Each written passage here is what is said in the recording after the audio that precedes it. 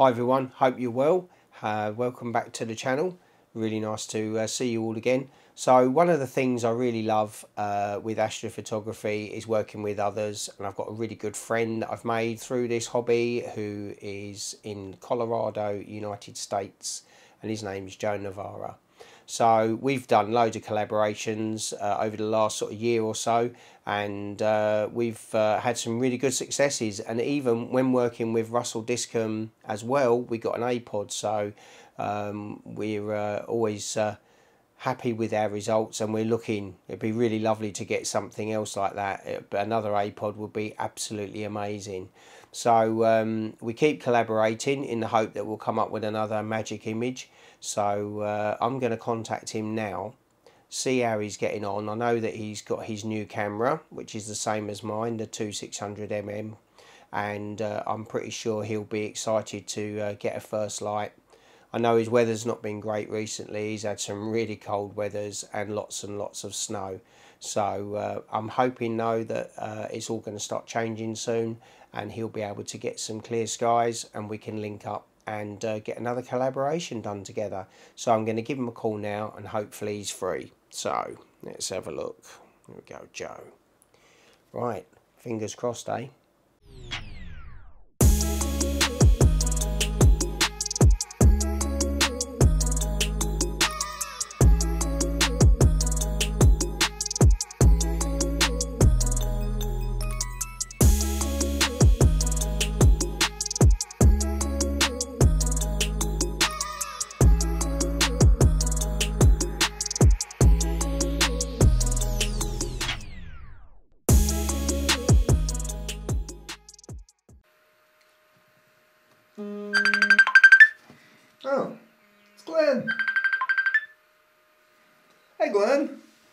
Hey Joe, you alright mate?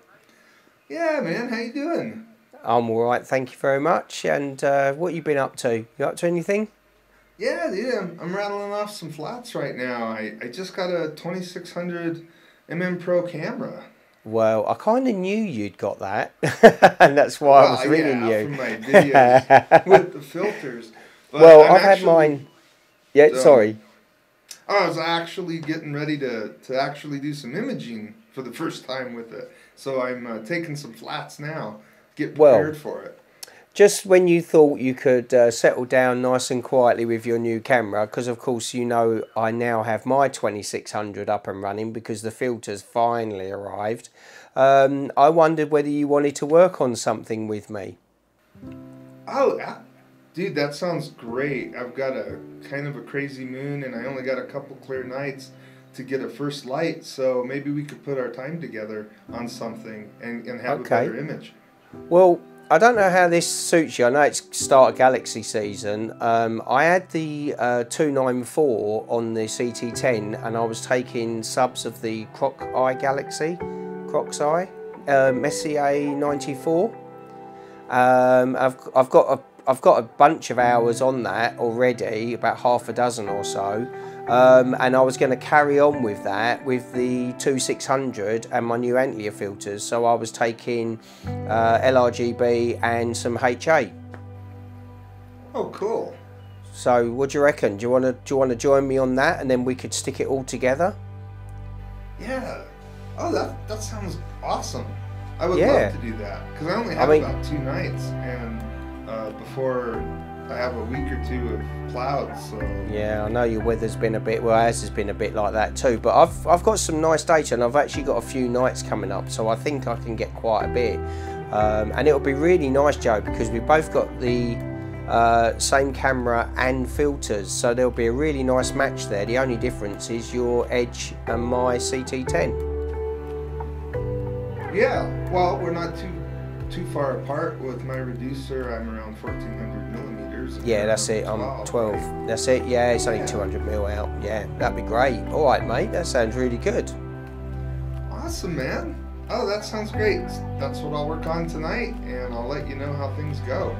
Yeah, yeah. Well, just let me know what you're getting. I'll uh, report back to you what I've got as well. Um, I'll just to let you know, I've been doing uh, like 90 seconds on the luminance, 3 minutes on the RGB and 10 minutes on the HA because that's 3 nanometers so you need to let that run for a bit here. Um, I can't really push my LRGB too much because as you say there's a moon about but also um, with my light pollution it uh, doesn't like it. Yeah. No, I, I figure I'll do about the same with the moon out and everything and my scope's a little slower than yours so Mm. um, but yeah uh, maybe I'll do 180 for luminance because I've got a I'm gonna be at f7 but other than that Oh yeah, that'll I'll- work well. That'll work well. All right then, mate. That sounds brilliant. Okay then. Well, you uh, you take it easy, and uh, hope you get those uh, couple of clear nights that you're planning, yeah and uh, and we'll we'll we'll catch you soon. All right. awesome thanks Glenn All right, man. I'll speak to you later. All right, All Joe. Bye, mate. bye Well, that's brilliant. Got another collaboration uh, on the way, so that would be really good. Um, so let's have a look at my equipment, at the setup I've got for this uh, acquisition. As I say, I've already got some data that I took with the 294 mm Pro on my CT10, but now I've got my new 2600 mm Pro with the uh, LRGB uh, V Pro Antlia filters and I'll also be using the um, Antlia 3 nanometer hydrogen alpha filter. Right, let's go and have a look.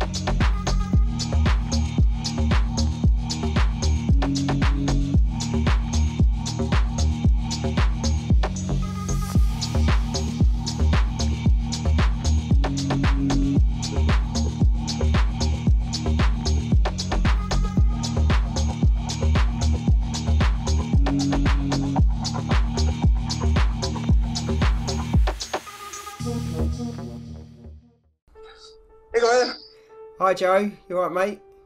Yeah, man. I thought I'd just catch up with you real quick. I wanted to uh, let you know that I got a bunch of LRGB last night, Oh, and uh, tonight I'm gonna plan on getting some HA and some other stuff. But um, I've got a, I've got one of my images here to show. oh cool, let's have a look.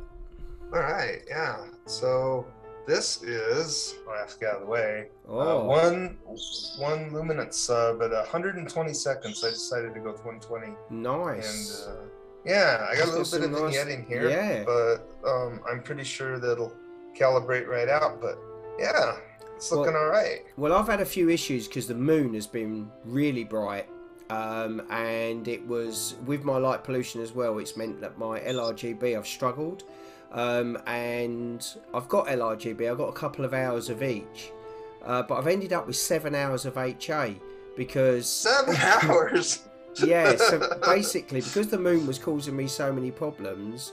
I was okay with the HA, so what I did was I left the HA running all night at 10 minute subs and ended up with 7 hours of it. Let me show you, actually, I've got, uh, that's the HA. Oh wow! I'll make it a bit bigger. Oh yeah. That's just HA. So there's a That's lot, really nice. there's a lot in there, but I've got 7 hours of it, so. Um, okay, well I, I'm not gonna I'm not gonna take any. I'm just gonna concentrate then on LRGB. Well, I think Um, that would be. you, I think you've got our HA covered for our collab. That would be great, Joe, because that's what I'm lacking. I've got L- I've got LRGB, but not enough. And and the HA when I add it, it overpowers it completely. So it would be good if we've got some more LRGB. It'll mix in nice. Uh, excellent. All right. Well, that's coming along nicely. All right. Yeah. All right. I'm excited. I guess uh, another night or two, and well, one more night for me, and then the clouds come back. So, Okay. Well, um, let me know. We'll see what we got. Yeah, let me know what you've got, and then we'll get our data together, and we'll have a look and see what we can come up with. Alright. Sounds great. Yeah, exciting. Okay, man. Talk to you later, dude. Yeah, take care, Joe. Thanks for calling, mate. Bye. Right. Bye.